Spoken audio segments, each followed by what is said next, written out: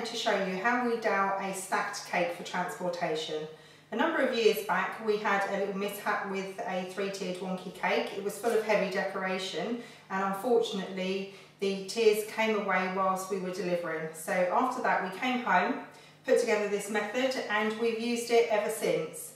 Equipment that you need is a tape measure. I have some clear dowel sticks here um, you can use the white plastic ones um, or the, the, the, wooden ones as well, but we prefer to use the, the plastic ones. I have a tub of royal icing. I have a marker. This is just to mark up where my dowels are going to go and so I can mark the centre of my cake. Some cutters for my dowels. A spirit level to make sure my dowels are nice and even so we don't end up with a wonky cake a small palette knife to apply the royal icing. And I also have some cake boards. Now what we do is we drill a hole in the centre of our cake board. So this is already under our 6 inch round tier and this is already under our 8 inch round tier. The dowel will pass through to keep your cake nice and secure so it doesn't come away while you're driving with it. So firstly we start with our tape measure and we measure across the width of our cake and we find our centre. Don't rely on the size of the cake that you've actually baked because by the time you've applied ganache and icing or fondant then your, your cake is going to be slightly bigger.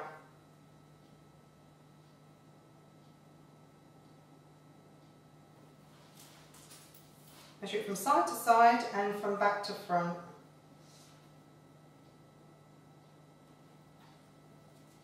Okay, now you have your centre.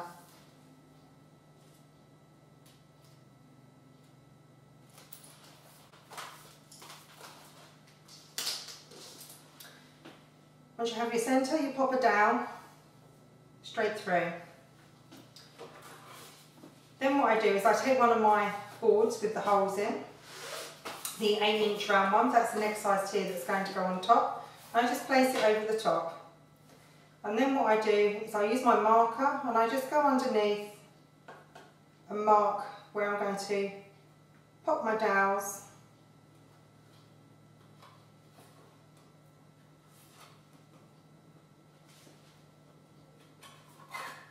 so the next tier doesn't sink into the one below.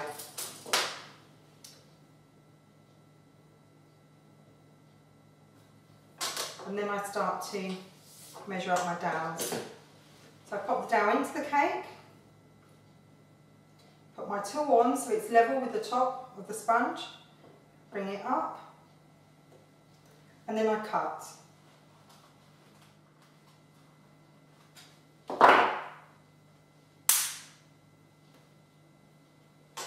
And I repeat this process all around the cake.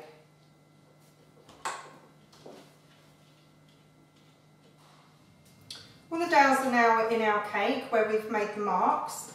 And what I'm going to do now is just make sure that they're, they're all level so we don't end up with a, a wonky cake. Even just the slightest bits of it not being level will start to make the cake lean and that's not what we want. It doesn't look very nice when it's on a stand at somebody's wedding or birthday or something like that. So what I'm going to do now is I'm going to get my next tier ready and marked up for placing on top of this one. So we're going to pop this one to one side. And pop this one on my stand. And what we need to do again is exactly the same as before.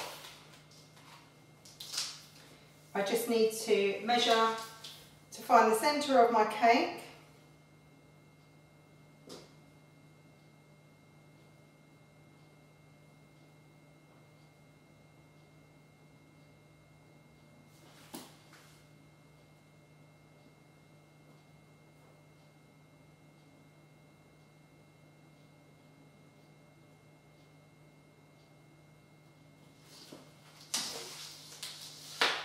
Now remember this tier of cake is on one of the boards with the hole in the centre.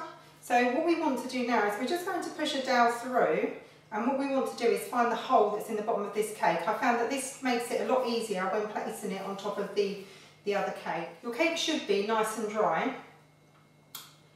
I would have covered, covered this yesterday or the day before. Um, that way you can handle your cake quite easily. Be very gentle with it still because you don't want to cause any damage. You now have the dowel in your middle tier.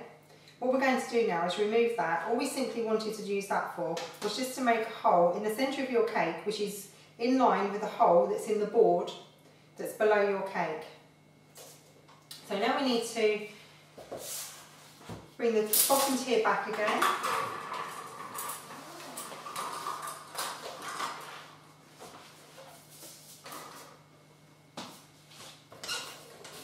We want to pop some royal icing on the top here to secure the middle tier.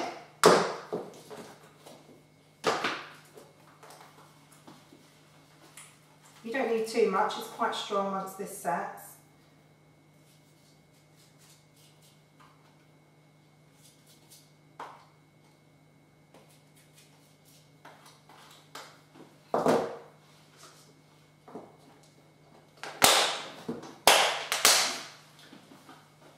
Now we're going to place this tier over your dowel.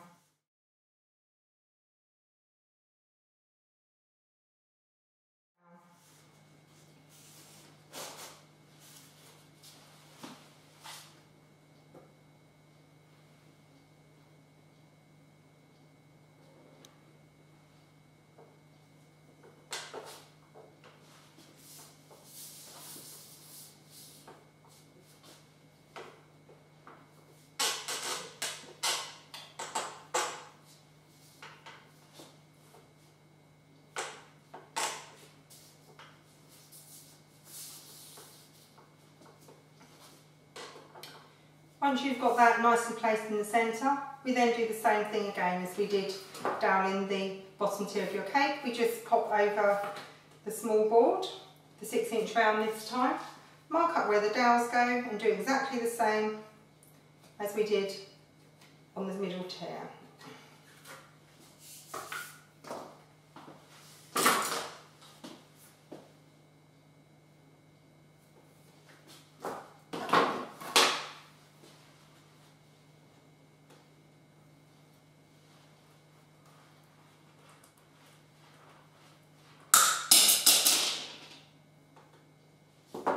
We've popped the dowels in the top of our cake.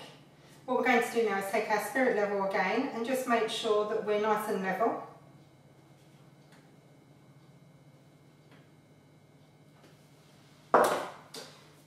Then we're going to put a little more royal icing on the top of our cake.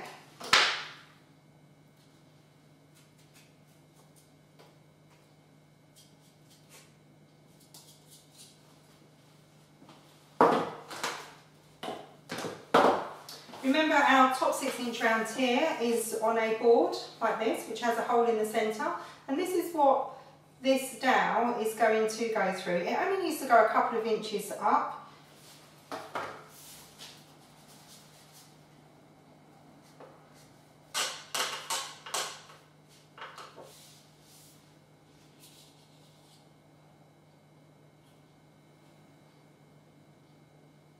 There.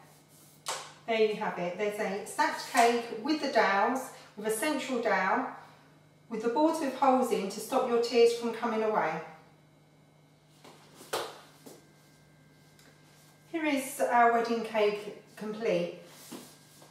If you would like to know how to do the ruffle effect that I've done on the bottom tier, there'll be a link in the description and at some point I will make a video for the quilting effect as well so um, you can look out for the link to appear in the description for that as well. Do look at our other videos and thank you for watching.